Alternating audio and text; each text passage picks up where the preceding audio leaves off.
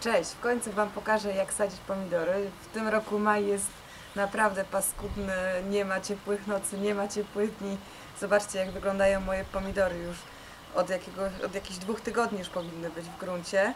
E, Mam nadzieję, że już będą ciepłe noce i ciepłe dni. Sprawdzałam dzisiaj prognozę pogody. Podobno ma się ocieplić. Moje pomidory, jak widzicie, są już naprawdę bardzo duże. E, Powoli na niektórych już widać, że e, szykują się na e, wytworzenie kwiatów. Czas je wsadzić do gruntu. Część pomidorów będę sadziła do gruntu, część pomidorów sadzę do doniczek.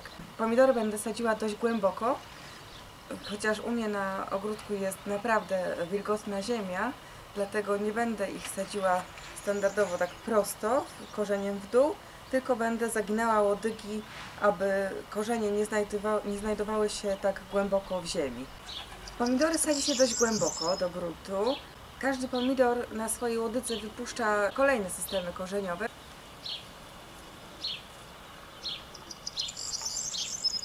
Pomidory oczywiście możecie e, wyhodować sami, tak jak ja hodowałam. Teraz to już jest naprawdę za późno na sadzenie pomidorów do doniczek.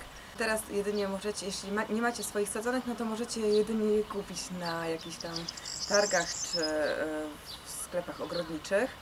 Jeżeli, jak będziecie kupowali pomidory, zwróćcie uwagę na to, aby miały dość grubą młodygę, aby nie były uszkodzone i aby nie miały żadnych plam na liściach. Najlepiej, żeby jeszcze nie kwitły, choć w tym roku początek wiosny był bardzo ciepły, więc te pomidory wszystkie w tych szklarniach poszły naprawdę mocno w górę.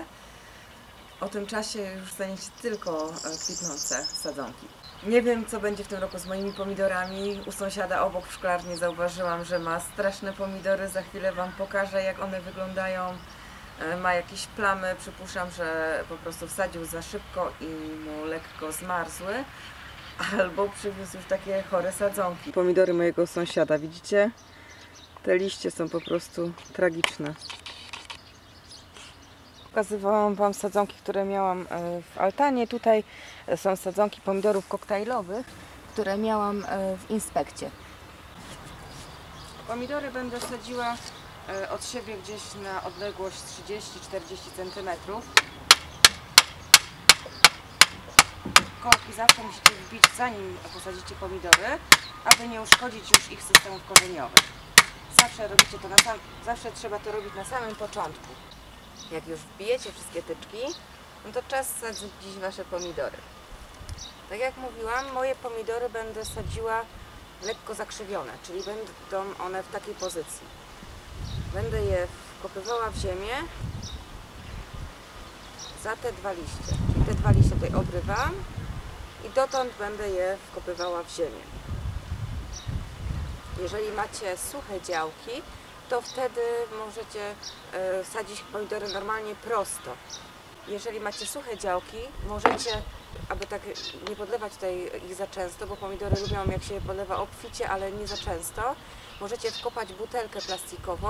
Najpierw ją natnijcie tutaj na tej wysokości, to całe e, wkopcie w ziemię, tak aby tylko tutaj rand butelki wystawał. Postawicie tutaj obok e, tego palika i w to będziecie wlewać wodę. Pomidory jak będą rosły, będą tą butelkę otaczały swoimi korzeniami i stamtąd będą pobierały sobie wodę. Ja takich rzeczy nie muszę robić, u mnie jest wystarczająco mokro. Dołek dla pomidora kopiemy zaraz przy paliku, aby łodyga była jak najbliżej tutaj przywiązana.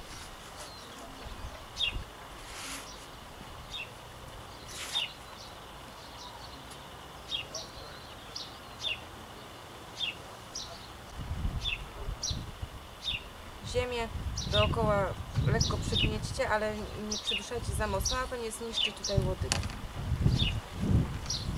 Najlepiej od samego początku zrobić tutaj taki dołek, w który będziecie wlewać wodę. Pomidory zaraz po posadzeniu należy podlać, aby pozbyć się całego powietrza, które e, znalazło się dookoła korzeni. Obojętnie czy jest mokro, czy nie, podlać zawsze musicie.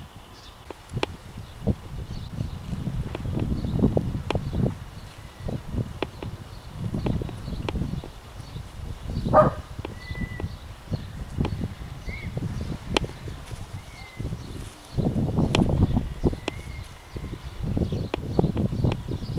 nie podlewajcie pomidorów zimną wodą, zawsze niech to będzie woda uszykowana w wiatrze czy z jakiegoś zbiornika na deszczówkę. E, zasilać pomidory możecie oczywiście jakimiś nawozami. Ja mam ziemię przekopaną z obornikiem, więc nie będę ich tutaj tak często już nawozić.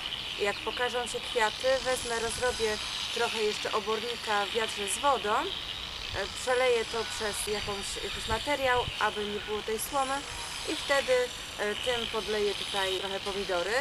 Co dwa tygodnie też będę, co tydzień właściwie, będę podlewała pomidory gnojówką z pokrzyw.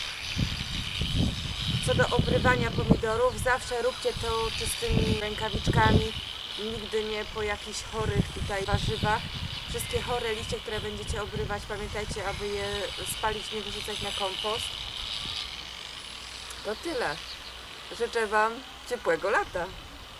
Aha, aby później, jak pokażą Wam się kwiatki, aby je zapylić, żeby były większe plony, wystarczy do szklaneczki e, napełnionej 200 ml wody wsypać jedną trzecią łyżeczki zwykłego cukru, dobrze to wymieszać i każdy kwiatek maczać w roztworze tej wody. Tak e, tutaj mój sąsiad zawsze robi w szklarni, bo w szklarni wiadomo, że nie ma aż tylu latających, zapylających owadów. A naprawdę się to u niego sprawdza. Ja też zaczęłam to robić w zeszłym roku i naprawdę zwiększa to dużo plony. Życzę Wam ciepłego lata. Najlepiej takiego przekropnego, burzowego, bo taka pogoda jest idealna do uprawy pomidorów.